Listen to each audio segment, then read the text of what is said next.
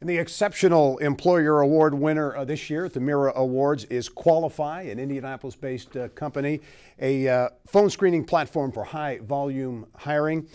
Darrian Mikell is the CEO of the company, and uh, it's good to see you back. I saw you last year. You got the Rising Entrepreneur last year. This year, it's the Exceptional Employer. Congratulations. Thank you so much. Yeah. I just like shaking your hand. and Yeah, yeah exactly. regular Yeah. thing, yeah. Well, it's good stuff. You're doing great things, obviously. Talk about um, the things you're doing uh, at Qualifi because I know culture is really kind of at the heart of your business. And that, I think, was in large part uh, the reason behind the Exceptional Employer Award. Yeah, I take a ton of pride in this. Uh, obviously, I was here last year, but I think this is the award that I care about the most. Um, just being recognized as a great team. My favorite part of being an entrepreneur is being able to build a team and seeing how people are thriving as individuals on the team. So it's been really fun. Talk about some of the core principles because I know diversity is a is a big issue. You've been able to attract a diverse team, and I think through uh, give us also the model because you, you're you know you're helping uh, companies hire people, and that diversity piece on that uh, comes through as well. Yeah, it's through and through. So one of our core values is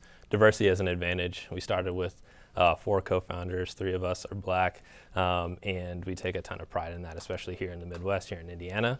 We want to kind of be a beacon for that. So as we build our team, but also as we live out our product, we want to uh, showcase that. So uh, we help people hire, um, and we do so through essentially a blind phone screen. Um, so we help automate that, keep it structured so every candidate gets a similar, the same experience um, to make it a bit more objective in that screening process. Talk about business. How's business going, and where do you see uh, growth opportunities? Yeah, we're, we're continuing to grow. We focus we tend to focus on uh, high volume industries. Uh, generally, that's kind of mid size, so mid markets, enterprise level companies uh, that are you know lean, still lean recruiting teams, but have to really ramp up and scale up their hiring. Um, and so hospitals, healthcare systems have been really great for us. Uh, retail and uh, uh, folks with call centers have been really great for us as well. But uh, we, we generally can kind of uh, help any hiring demands that you might have.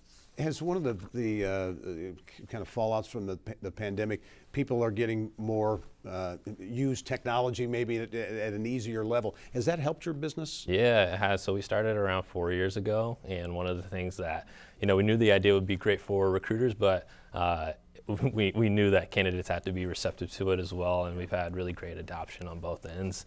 Uh, partially because of the pandemic, I think people are used to interacting with technology in their everyday lives, and uh, this is no different. So it's been uh, you know good to see that reception.